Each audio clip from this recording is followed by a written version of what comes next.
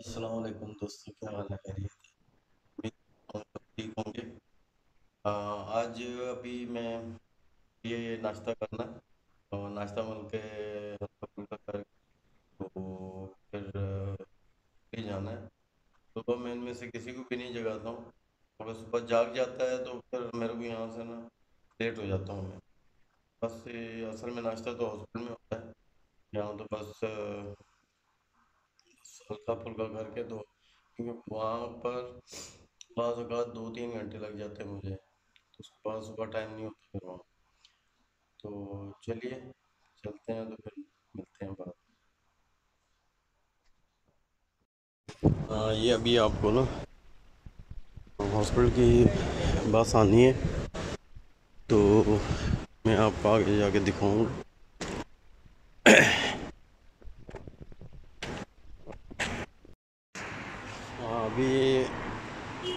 बस अभी थोड़ी देर में भी पाँच मिनट में बस आ जाएगी हॉस्पिटल की। तो फिर मैं आपको कलीग मेरे खड़े हुए हैं इस सामने। तो बस आती है तो फिर मैं ना या मामा? तैਨੂੰ पता कौन? हाँ ये हमारा स्टाफ है जहाँ पर बस हमें उतारती है। तो बस अभी यहाँ से अभी हम चलेंगे। आगे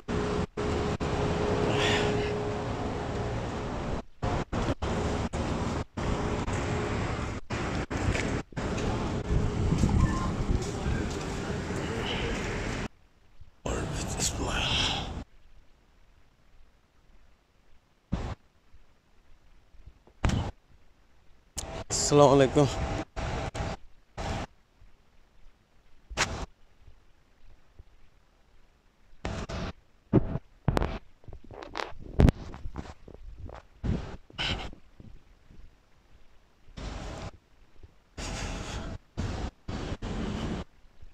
around the world with smile ये कुछ आज मेरा ख्याल कोई प्रोग्राम है।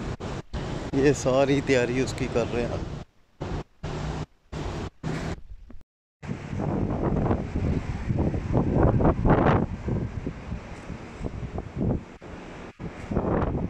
और ये हमारा राज़ी बैंक है। मेन ब्रांच है ये, अंदर।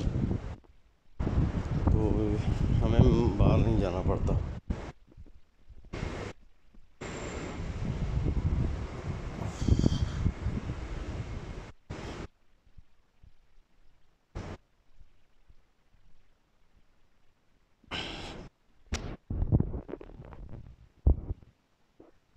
अगर आपने कार्ड निकालना है तो वो दो मशीनें लगी हैं ये। बाकी ये तो कैश विड्रॉ और डिपॉजिट करना है तो।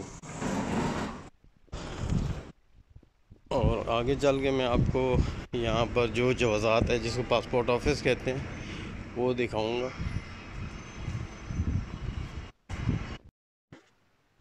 ये हमारा पासपोर्ट सेक्शन है जवाज़ात है, और इसमें वीज़ा सेक्शन भी होता है। और ये बेंचेस हैं। यहाँ पर बैठते हैं हम लोग। वेटिंग में होते हैं लिस्ट और बल्कि यहीं से चलता हूँ। यही हमारा रास्ता है ऊपर। ऑपरेशन थिएटर का। पर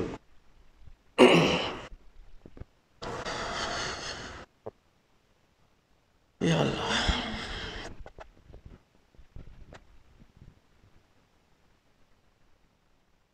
कभी ये बंद हुआ नहीं है, पता नहीं लगता आज बंद किया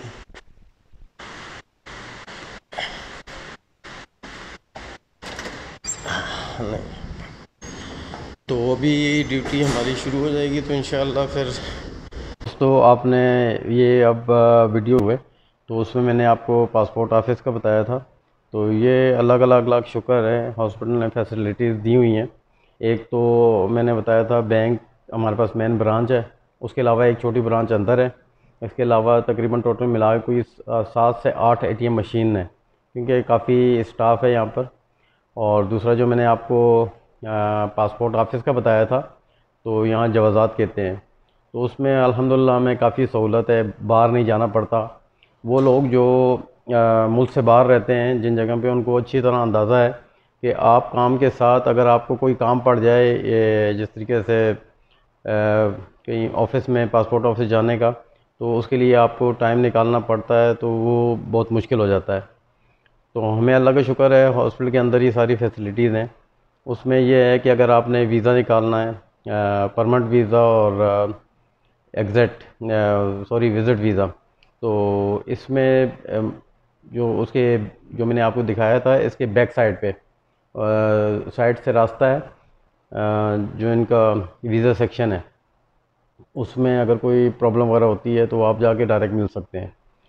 तो आपके तकरीबन हमारे सारे अगर कोई भी प्रॉब्लम आते हैं तो ये यहीं पे सॉल्व हो जाते हैं। इकामा वगैरह बनाना है।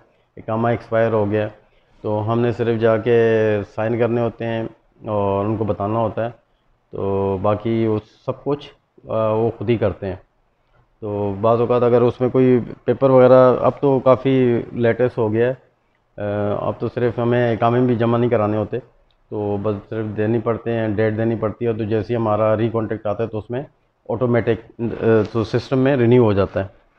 और बाकी और हाँ तकरीबन ये भी हमारे लिए तो काफ़ी है। अगर जिस तरह छुट्टी पे जाना पड़ता है तो उसके लिए भी आपको एग्जैक्ट एंट्री करनी पड़ती है तो वो अब ऑनलाइन ही हो गया सारा।